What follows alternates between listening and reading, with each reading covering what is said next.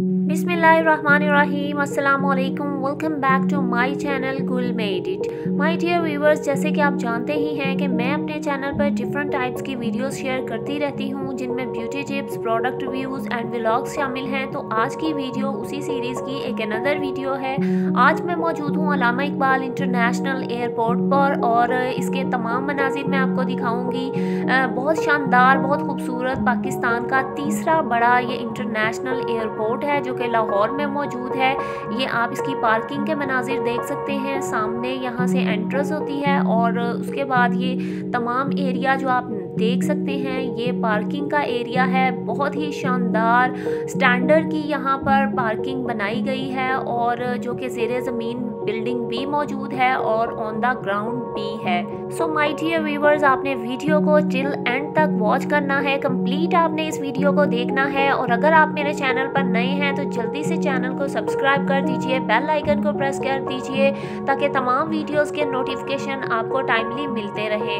और ये आप देख सकते हैं कि कुछ लोग अपनी गाड़ियाँ यहाँ ऊपर भी पार्क कर देते हैं। और अगर आपने सही से गाड़ी को पार्क नहीं किया है तो वो आकर इसको गाड़ी को उठा भी देते हैं उठा कर ले जाते हैं सिक्योरिटी वाले।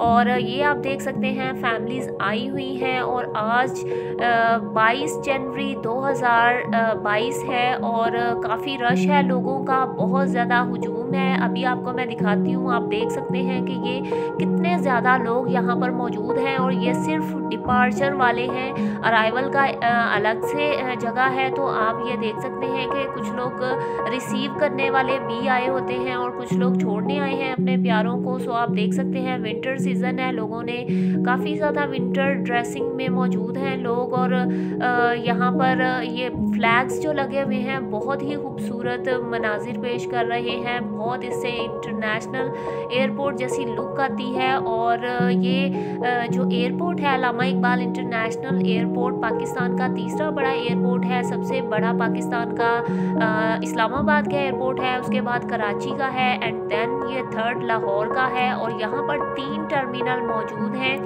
और ये इंस्ट्रक्शंस भी यहाँ पर इन्होंने लगाई हुई हैं कि मनशियात ले जाना मना है। 200 से ज़्यादा आप सिगरेट नहीं ले जा सकते, सोना चांदी, डली बिस्किट फॉर्म में आप नहीं ले जा सकते और असलहा बारूद भी नहीं ले जा सकते। सो ये आप इंटरनेशनल डिपार्चर गेट देख सकते हैं, जहाँ से लोग एंटर होते हैं। और ये बैन अवी रवानगी उर्दू में भी लिखा हुआ है। ऊपर आप फ़्लाइट्स की देख सकते हैं टाइमिंग और शेड्यूल और ग्रीन लाइट ऑन होने का मतलब है कि ये फ़्लाइट्स ऑन हो चुकी हैं। आप अंदर जा सकते हैं इस फ़्लाइट के लिए।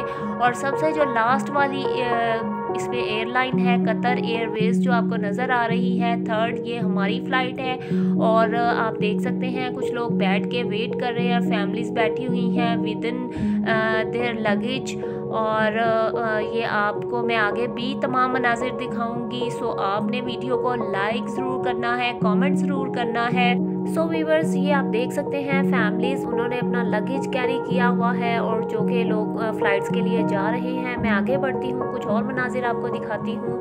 और ये इनर एरिया है जो इसका अंदरूनी कॉरिडोर और वेटिंग एरियाज़ बने हुए हैं। यहाँ पर आप देख सकते हैं Bundu Khan sweets and bakers जो कि बहुत मशहूर हैं अपनी स्वीट्स के लिए। यहाँ पर भी इनकी बेकरी मौजूद है। लोग स्वीट्स बाहर के मुल्क भी लेकर जाते हैं।